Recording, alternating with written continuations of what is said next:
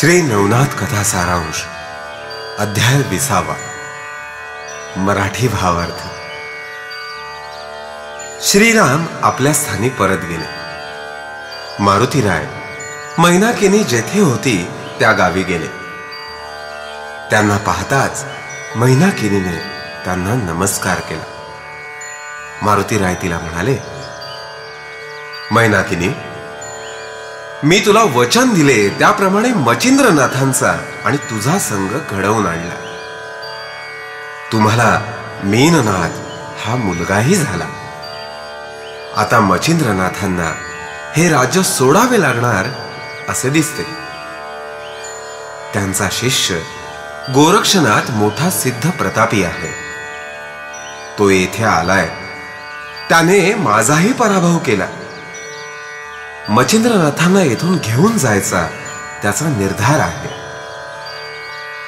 तू काहीही करून गोड बोलून त्यांना इथेच रमव. नाहीतर मचिंद्रनाथ गेलेच म्हणून समज. मारुती रायांनी हे सांगितले तेव्हा मैनाकिनी घाबरून गेली. मैनाकिनी पूर्वी सिंहल द्वीपात राहत असे. तेथे ती सर्वात सुंदर म्हणून तिला पद्मिनी असे नाव पडले होते. एकदा सिंहल द्वीपात ती आपल्या महालात स्नान करून उंच सौधा तलावर शुभ्र वस्त्र नेसून उभी होती. आकाशात सहज तिची दृष्टी वळाली. त्याच वेळी आकाशात उपरिचर वसू विमानातून जात होते. वाऱ्याने त्यांचे वस्त्र दूर होऊन त्यांचे गुप्तांग तिच्या दृष्टीस पडले. तेव्हा ती पटकन हसली. वसूला ते ऐकू आले. ती का हसली हेही त्यांच्या लक्षात आले. ते रागावले. त्यांनी शाप दिला. तुझ्या मनात मजविषयी काम विकार उठला. तू हसलीस. तुला स्त्री राज्यात राहावे लागेल. तेथे तुला कोणीही पुरुष कधीच दिसणार नाही. तिने त्यांची प्रार्थना करून उशाप मागितला. तेव्हा ते म्हणाले स्त्री राज्यात किलोतला नावाची राणी आहे. तिचा मृत्यू झाल्यावर तेथे तूच राणी होशील. मारुती रायांची तू उपासना कर. मग ते तुला प्रसन्न होतील. तू त्यांना सांग आमच्या स्त्री राज्यात केवळ तुमच्या भुभुक्काराने संतती होते व स्त्री संतती जगते. पुरुष जन्माला येत नाही. तुमचा प्रत्यक्ष अंगसंग मिळावा. ते तुला सुख देतील. मारुती राय वचनात गुंतील आणि मग ते सांगतील. नवनाथांचे मुख्य मच्छिंद्रनाथ येथे येऊन राहतील. त्यांच्यापासून तुला सुख मिळेल. मैनाकिनी तुझ्या मनात माझ्याबद्दल आसक्ती उपजली आहे. म्हणून तू मचिंद्रनाथ हा माझाच अंश तुझ्याशी संसार करेल. मीननाथ म्हणून मीच तुमचा पुत्र होईल मग तू पुन्हा स्वस्थानी येशील. त्यांनी उशाप दिला. तो उशाप मिळताच मैनाकिनी स्वतःचा विसर पडून आपला देश सोडून भटकत त्रिराज्यात गेली. तिथे किलोत्तला नावाची राणी होती. ती वृद्ध झाली होती. किलोत्तलेने आपल्या मागून राणी कोणाला करावे हे ठरविण्यासाठी एक हत्तीण गावात फिरवली. त्या हत्तीणीने मैनाकिनीच्याच गळ्यात माळ घातली. मग त्या राणीनंतर सर्व स्त्रियांनी मैनाकिनीलाच राणी केले. मग तिने मारुती रायांची आराधना केली. आणि त्यांनी वर दिल्याप्रमाणेच मच्छिंद्रनाथ तेथे आले. संसारात रमले.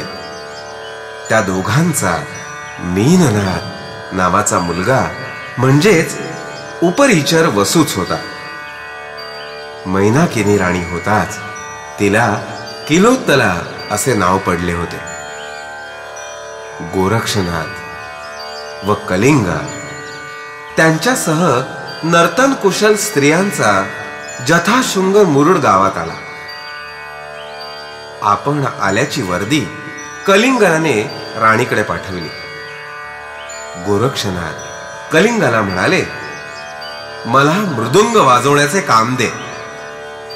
कलिंग म्हणाली तुमचा हा पुरुष वेश तिथे कधीच उपयोगी येणार नाही. तिथे तुम्हाला आत घेणार कोण? त्यावर गोरक्षनाथ म्हणाले मी स्त्री रूप घेतो. त्यांनी तात्काळ मंत्र म्हणून स्वतःचे स्त्री रूपात रूपांतर करून घेतले. कलिंगेला तो ओळखूनही येईना. गोरक्षनाथ म्हणाले आता पहा.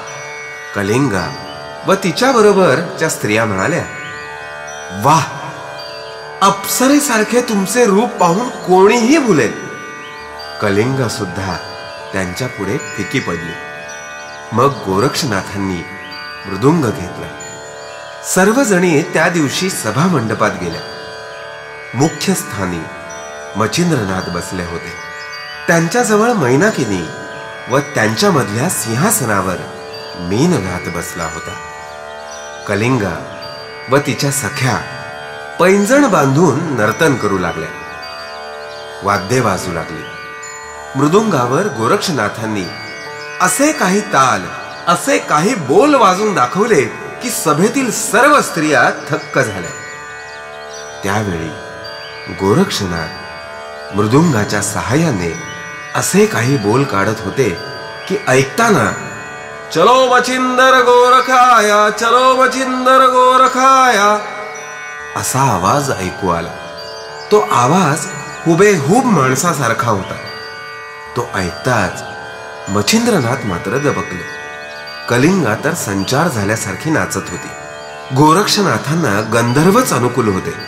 त्यामुळे संगीत नृत्य हावभाव ताल ताना सगळे काही अलौकिकांमधून गोरक्षनाथांच्या मृदुंगातून शब्द उमटत होते. पुन्हा पुन्हा चलो मचिंदर गोरखाया चलो मचिंदर गोरखाया. आणि मचिंद्रनाथांची मुद्रा तर लाजाने काळवणली किलोत्तला जवळच बसली होती. तिने काळजीने त्यांना विचारले. तेव्हा ते म्हणाले काय सांगू? गोरख आया गोरख आया. असे शब्द मृदुंगातून निघतात काय भूताटकी आहे कळत नाहीये. गोरक्षनाथ आले तर मला जावेच लागेल. तेव्हा मैनाकिनीने मृदुंगधारी तरुणीला एकीकडे बोलावून सरळच विचारले. ती तरुणी म्हणाली मला काय माहीत असणार? तुम्हाला हवे असल्यास इतर वाद्य वाजवून पहा. तेव्हा मैनाकिनीने इतर वाद्य वाजवण्यास सांगितले. कलिंगा आणि इतर स्त्रियांनी ती वाद्य हातात घेतली. त्यांनी वेगळा ताल वाजवला वेगळा स्वर काढला. तरी सुद्धा त्याच्यातून वेगळ्या तालातून वेगळ्या स्वरातून पुन्हा तेच शब्द आले. ताल वेगळा स्वर वेगळा पण शब्द मात्र चलो मचिंदर गोरखाया चलो मचिंदर गोरखाया असे स्वर निघू लागले. राणी समजून चुकली. गोरक्षनाथ याच मंडळीत आहेत. तिने मृदुंगधारी स्त्रीला पुन्हा विचारले तुला तुझ्या गुरुची शपथ. खरे काय ते बोल. कोण आहेस तू? तेव्हा मात्र गोरक्षनाथ म्हणाले माई मी खरोखरी स्त्री नाही. मीच गोरक्ष. मचिंद्रनाथांचा आवडता शिष्य. मी स्त्री रूप घेतले आहे. मच्छिंद्रनाथांना येथून घेऊन जायला मी आलेलो आहे.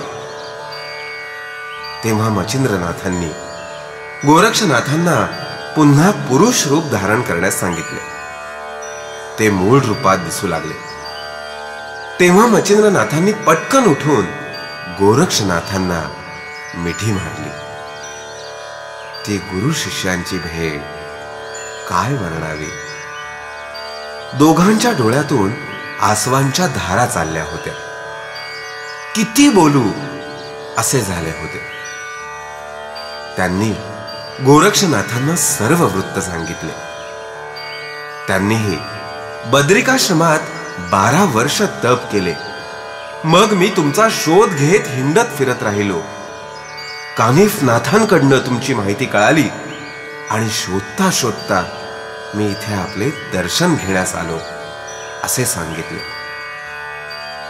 मग मचिंद्रनाथांनी प्रेमाने एका मांडीवर गोरक्षनाथांना आणि दुसऱ्या मांडीवर मीननाथांना बसविले. मचिंद्रनाथांनी गोरक्षनाथांना आपल्या हाताने सुग्रास अन्न भरविले. रात्रभर गुरु शिष्यांच्या गोष्टी काही संपेना. श्री नवनाथ कथा सारांश अध्याय विसावा मराठी भावार्थ संपूर्ण.